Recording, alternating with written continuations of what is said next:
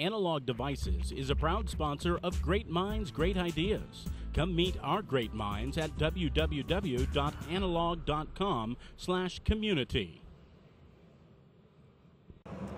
Welcome back. We're still alive here at the Sands Convention Center at the 2006 Consumer Electronics Show. I'm Brian Fuller, publisher and editor-in-chief of EE Times. And this is a special segment of EE Times TV from the show floor. As you can see, I'm here today with Jeff Bier, president and founder, and uh, all-around good guy from BDTI in Berkeley, an expert in, uh, especially in, in uh, DSP teardowns, analysis, research reports, you name it. And we always, when we can, either here or at ESC or Design Automation Conference or wherever, try to track down the elusive Mr. Bier and uh, get his uh, usually thoughtful insights on what the hell is going on. And there's so much data overload here, Jeff, that um, I'm not quite sure what to make of it. What do you make of it? Well, I think that uh, CES has just become so huge, it's really overwhelming. And uh, the only way to make sense of it is to focus on something. And in our business, we tend to focus on the semiconductors, and in particular, the processing engines targeting digital signal processing intensive applications like communications and multimedia. Um, one of the really interesting things I see happening in that space is that as the end products, the boxes, are getting to be more and more complex and integrating so much functionality and formats and I.O. interfaces and so on, the box designers are looking to their semiconductor suppliers to provide not just a chip and some programming tools, but a whole truckload of software with that operating system ports and device drivers and reference designs and optimized codecs and so on. And the semiconductor companies, I think, are stepping up to the plate and doing that. And, and in our meetings and demos with the semiconductor companies here this week, we've seen a lot of that. At the same time, though, I think we can see that it's a challenge for them.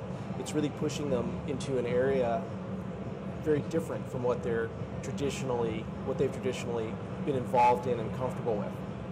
Is there anyone uh, that comes to mind who is doing a good job of making that transition? Well, we're just beginning our evaluation efforts on the software side. You know, historically, just like the chip companies have focused on the processors and the chips, we have as well. We've looked briefly at the, the software that they've provided, but we haven't subjected it to anywhere near the same degree of scrutiny as we would to the processor itself maybe the development tools. Um, we recently launched a new service we call Solution Certification, and that's specifically aimed at evaluating uh, the quality and performance of the key multimedia software components that these companies are providing with their chips. We're literally just we've really, literally just started the first engagements, and the first results should be out in about two months. You told me once that um, you think that this is going to be the decade of the algorithm. I mean, we've had al algorithms for a long, long time, but in terms of its its real impact on system design, you think that's it's it's just now coming into its own. Yeah, um, in Larry Page's uh, keynote, Larry Page from from Google gave a keynote address yesterday afternoon, and uh, really enjoyed it. One of the things he talked about was kind of comparing, contrasting the internet and consumer electronics. And in his worldview, the internet has been a hotbed of innovation because of its openness and universal interoperability. Um, whereas consumer electronics uh, is a highly constrained environment. If you have any two consumer electronics devices in your house, chances are you can't plug them together. Even something as simple as a camera with a USB interface and a USB thumb drive that you might have in your pocket, you can't make them work together. Um, and his uh, hope for the industry is that the device manufacturers will allow more open interfaces and more interoperability so that uh, there's more flexibility for consumers. But for him, most importantly, I think, so that there's more ability to innovate and uh, possibility of that innovation coming not only from the, the Sonys of, and Samsungs of the world, but also from a couple of guys in their garage who have a new idea for how something should work. And that relates to your question about algorithms. In the world of digital signal processing uh, technology and applications, which is our focus, there's an enormous sort of treasure trove of algorithmic know-how and techniques that have demanded too much processing performance to fit on programmable processors for a long time. So what that meant is the only way you could implement them was if you could afford to do a chip.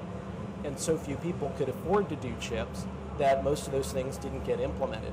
Now, as processors are becoming powerful enough to do a lot of very sophisticated real-time signal processing on high data rate streams like video, I think we're going to see an acceleration of innovation where guys who either come up with clever new algorithms or dust things off from journal articles or PhD dissertations that are 20 years old say, oh, you know what, I can now implement this algorithm on an off-the-shelf processor that's a 20 or $30 or even maybe a $10 processor and maybe bring some important new capability to users.